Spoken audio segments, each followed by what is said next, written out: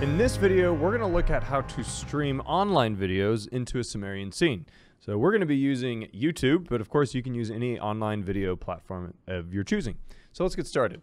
All right, I'm starting here at YouTube, and I'm going to pick a random video, one of our videos, just this introduction to Amazon Sumerian, just an intro video. I'm going to pause it, and I'm going to find the share button. And this is going to be similar for whatever platform you decide to use. I'm going to click the share button, and I'll click the embed option.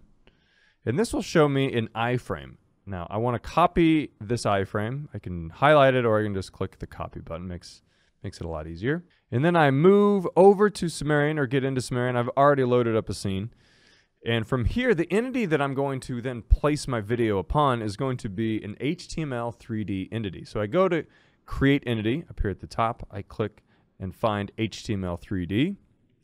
And that provides me an HTML 3D entity that is actually in space. It's not just hovering over on top of the scene. It is actually existing in the 3D environment. I'll move that up a little bit. Or actually, I'll just turn off the grid to make it a little easier to see. All right, it is a box. We can fix that in a moment. And let's go ahead and open in editor. This is going to open up the text editor.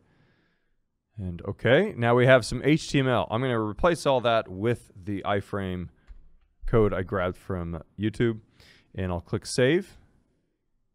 And when I then go back to my editor, I see my video. Now let's press play, see what it looks like. All right, the video plays, good. But if you notice that it's a little bit awkwardly shaped, uh, it's not, it's a, it is a square, we want to change that. So all you need to do is then just change the transform values. So if we want to go to 1.6 and then we go to 1 point or 0.9 that'll give us you know a 16 by 9 ratio. And we'll make better a lot better uh, ratio and size for a video for most videos. There we go. Now we have a video and I can move this around can move this video using my transform values even while I'm in play mode, as you can see. And that's how you do it. That is how you insert a streaming video into using Sumerian or into Sumerian using an iframe. Um, thanks for joining us.